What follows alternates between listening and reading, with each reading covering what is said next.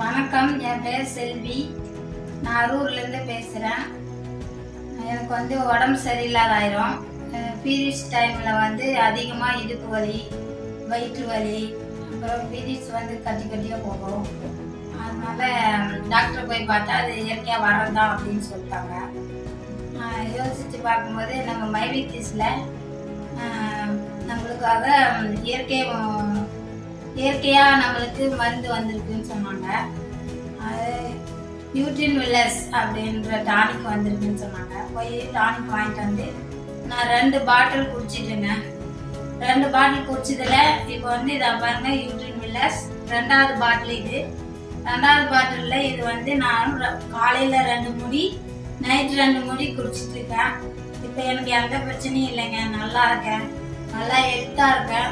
நல்லாவும் இருக்குது எனக்கு எந்த பாதிப்பும் இல்லை. நல்லா இருக்குங்க. தேங்க்யூ